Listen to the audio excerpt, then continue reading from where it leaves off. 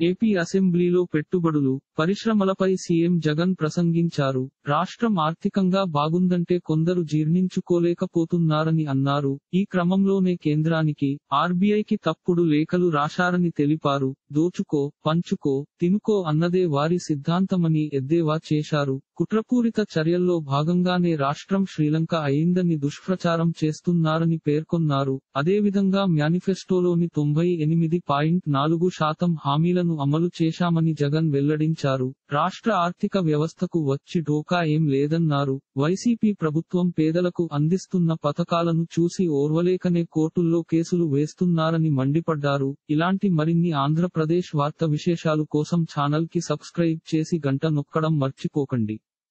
ఈ వీడియోని తోటి మిత్రులకి షేర్ చేయండి. మీ అభిప్రాయాన్ని కామెంట్లో తెలపండి.